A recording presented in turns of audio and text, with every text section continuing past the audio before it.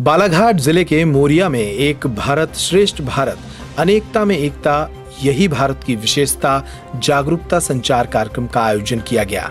कार्यक्रम प्रभारी B S Dhruve ने बताया कि इस कार्यक्रम का मुख्य उद्देश्य लोगों के अंदर जागरूकता के माध्यम से बेटियों को शिक्षित करने, बच्चों में कुपोषण की समस्या को दूर करने और माता पिता को यह संदेश देने कि बच्चों की पढ़ाई पर ध्यान दें। इस कार्यक्रम में कुर्सी दौड़ प्रतियोगिता, रंगोली प्रतियोगिता, नाटक और डांस प्रतियोगिताओं का आयोजन भी किया गया तो वही लामता के जाने माने गायक ब्रजलाल टेकाम ने भी अपनी प्रस्तुतियों से मौजूद लोगों को मंत्रमुग्ध कर दिया। कार्यक्रम के दौरान मेधावी छात्रों का शील्ड और प्रशस्ति पत्र देकर सम्मान किया गया।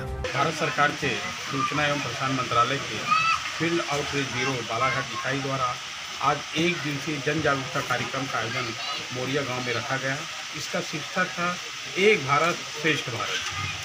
भारत सरकार के द्वारा 31 अक्टूबर 2015 से राष्ट्रीय एकता दिवस के रूप में मनाया जा रहा है। राष्ट्रीय एकता दिवस को एक भारत श्रेष्ठ भारत के रूप में मनाने की जो प्लान है, जो योजना है, हमारे प्रधानमंत्री जी की योजना है, इसमें मणिपुर में क्या हो रहा है, राजस्थान में क्या वेशभूषा है, या वहाँ की कल्चर क्या है, वहाँ की दर्शनीय स्थल क्या है, हमें नहीं मालूम है। तो हर साल एक पार्टनर राज्य का चयन भारत सरकार द्वारा किया जा रहा है।